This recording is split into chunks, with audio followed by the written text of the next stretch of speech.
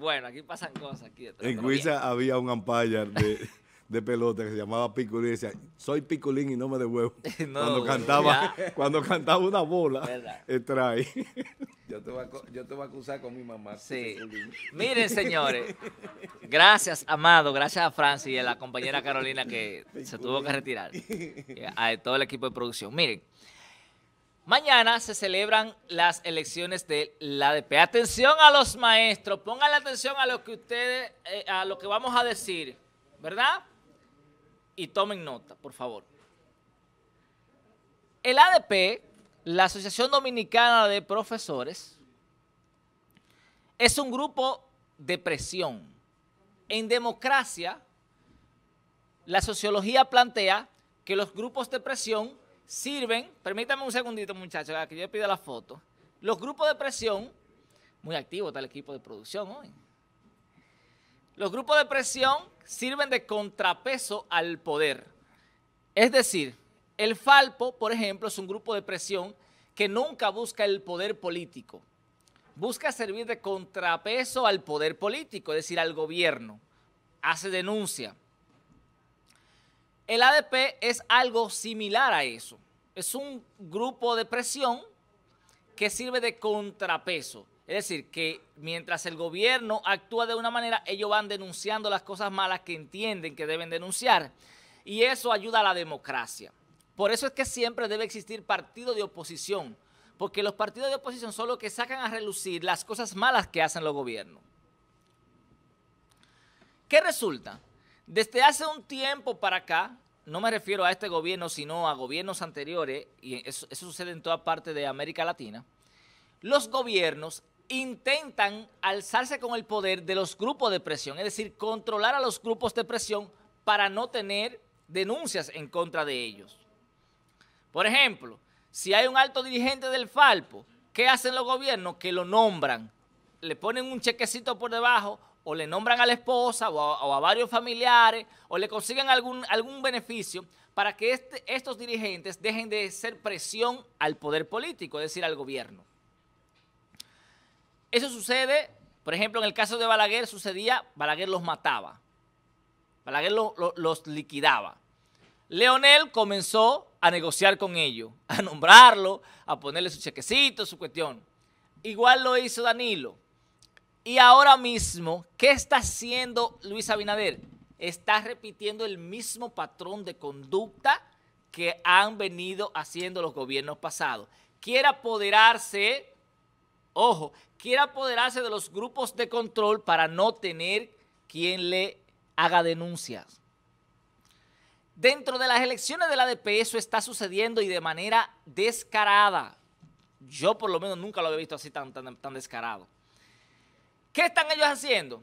Están incluso, óigame esto, ofreciéndole contratos de trabajo a gente para que su familia, que son maestros, sus esposas, voten a favor de su corriente. Tenemos un caso aquí que yo supe de un amigo que lo nombraron en una institución, me, me contrata extraño. Coño, mira qué interesante, lo nombraron en una institución pública de aquí. Y resulta que después lo veo, veo a su esposa haciéndole campaña. Ah, pero mira, carajo, fue un intercambio. Su esposa que me había dicho a mí que no votaba por esa gente ni loca. Oye, y ahora resulta que está haciéndole campaña. Y cuando tú revisas la nómina pública, ah, pero mira que el esposo está nombrado aquí, en del diablo, esto es un intercambio. Y entonces se festina el sistema. Pero fueron más allá, han ido más allá. Ponme las imágenes full pantalla, mueve la cámara y tráeme el monitor para acá. Miren eso. Inicio de vivienda feliz con representantes de la presidencia y el ADP. Eso fue un acto asqueroso. Atención, gobernadora. Y atención, Franklin. Mira, Franklin, a usted como senador yo lo tenía en un pedestal y yo lo había separado de los políticos tradicionales, a usted. Ponga la foto donde está Franklin. Yo a usted lo había separado de ese grupo de políticos. Pero cuando vi esa fotografía me dio asco.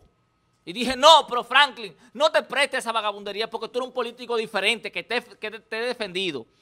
Pero cuando, te, cuando tú haces eso, utilizando los recursos del Estado, para tú promover un candidato que tú quieres que llegue, para tú no tener oposición en el ADP. Eso se convierte en corrupción. Díganme que no. Díganme que no. O sea, el proyecto Vivienda Feliz que inicia con los para, para los maestros, qué casualidad que vino el presidente y no fuera él que lo iniciara. Y lo iniciaron ahora, a dos o tres días de la campaña, o sea, de, de las elecciones, para decir a los maestros, si tú votas por mí, te vamos a dar una casa con los cuartos del Estado. Ajá. Eso es una, un acto, primero, de soberbia y es un acto de corrupción. El hecho, ¿quién es ese? Ese es Olmedo Cava que está ahí. Enfócalo bien. Si Olmedo Cava, también Olmedo Cava. Te tenía a ti también en un pedestal porque creía que estabas haciendo un buen trabajo, pero te prestaste a lo mismo. Y la gobernadora también. Grupo de sinvergüenza y me excusan que se lo diga, pero los recursos del Estado que han sido utilizados año tras año en la, historia de la República Dominicana no puede seguir siendo... No, no, ese no es Olmedo, creo yo. Enfócalo bien. No, no, no. Me retracto con Olmedo. Ese no es Olmedo, no. Eh, vean a si aparece una foto, si, es Olmedo. Si es él, incluyanlo. Si no es él, lo sacan. Pero ese acto, y qué pena por el, por el amigo a quien yo quiero tanto que hoy me toca decir su nombre. Ese es Olmedo. Sí, de Olmedo. También, muéntelo en el saco. Miren lo que hacen, señores. Y miren ahí a, Alberto Durán, que es el que está maquinando toda esa vaina. Miren a Alberto Durán, que es el que está maquinando toda esa, toda esa vaina. O sea, le dicen a los maestros, ven que nosotros con los cuartos del Estado te vamos a hacer una casa a ti, pero si tú votas por nosotros. Coño, así no. Porque ustedes están repitiendo el mismo patrón de conducta que hicieron los pasados. Es decir, son igual o peor, porque dice la Biblia que aquel que, peca sabiendo que está pecando y conociendo la verdad, ¿verdad? Y conociendo la palabra, entonces peca varias veces. Es peor todavía. Pero no solamente eso. Esa gente, me refiero a los que dirigen eh, eh, educación aquí en la regional, han llevado a un grupo de técnicos, de maestros, a ser técnicos sin ningún tipo de concurso. Usted dirá, bueno, los otros lo hacían. Sí, pero es que tú no debes hacerlo. Es que tú no debes hacerlo porque tú le prometiste un cambio. No solamente eso, yo tengo información de que el hijo de, de una funcionaria de, está fuera del país. Eso yo no lo puedo confirmar. Tengo la denuncia y le doy el derecho a réplica. Supuestamente el hijo que era monitor lo llevaron a ser técnico, violando todos los procesos, está fuera del país. Tiene más de dos meses fuera del país. Es la, denuncia que tengo, pero está cobrando. Es la denuncia que tengo. Con el derecho a réplica, porque eso no lo tengo confirmado a, ciencia cierta. Pero lo que sí tengo confirmado es que agarraron un maestro de lengua española del liceo, ahora mismo le voy a dar el, nombre, para que ustedes vean hasta dónde llegan, del liceo Juan Bosch de aquí de San Francisco, el maestro de lengua española, se lo llevaron a ser técnico. Y adivinen qué, el año pasado no se dio lengua española en ese, en ese liceo. Pero ¿saben qué? Eso nadie lo sabe porque no se hizo evaluación. Y a nadie le importó eso. Y la DP debió denunciarlo, se quedaron callados también, son cómplices. Pero todavía en este año, que ya inició el año escolar, no han dado lengua española ahí. ¿Saben por qué? Porque no hay maestro. Porque el maestro de lengua española se lo llevaron a ser técnico. Canchanchanería pura. Lo que está sucediendo en educación es grave, pero nadie lo va a denunciar. ¿Ustedes saben por qué? Porque están repartiendo miles de millones de pesos en los medios de comunicación. En periodistas, en comunicadores, en camarógrafos, en todo el mundo, en toda parte del país. Que me desmientan, para que busquemos la nómina. Porque las nóminas son públicas, señores, tenemos que, tenemos que ser entes críticos, tenemos que buscar. Atención, consígame por ahí la espada del augurio. Una foto de la espada del augurio de, Leono, el de los Thundercats, que decía, espada del augurio, quiero ver más allá de lo evidente. Más allá de lo evidente, es más allá de lo que usted simplemente puede ver, profundizar. Eso es lo que quería Leono, el de los Thundercats, ver un poquito más allá de la curva. ¿Mm? Consígame la, espada del augurio con León ahí, que decía, espada del augurio, el augurio, ¿verdad? quiero ver más allá de lo evidente. Atención, pueblo, tienes que aprender. Consíguete la espada de- de- de- del augurio, ¿verdad? Y ve un poquito más allá de lo evidente. Este, mírenla ahí, esa es la espada del augurio, pero busquen la foto con, con donde está León, ¿no? Para que se vean los ojos de él ahí, ¿verdad? La espada del augurio. Quiero ver más allá de lo evidente. Vean más allá de lo evidente. Atención, maestro, no se dejen engañar.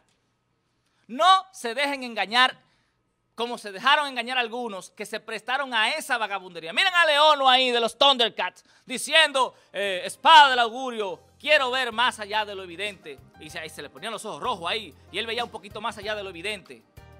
Más allá de lo que te dejaban ver. En eso que nosotros estamos aquí, diciéndole a la gente que vea más allá de lo evidente. Si se permiten, atención maestro, que, que ese grupo llegue ahí a dirigir el ADP, una sola denuncia no va a salir. ¿Saben por qué? Porque ese es el objetivo. Ese es el objetivo. Coger todas las instituciones, todos los gremios, controlarlo para que no salga una sola denuncia. Porque a esa gente, la mayoría, le ofrecieron cargos.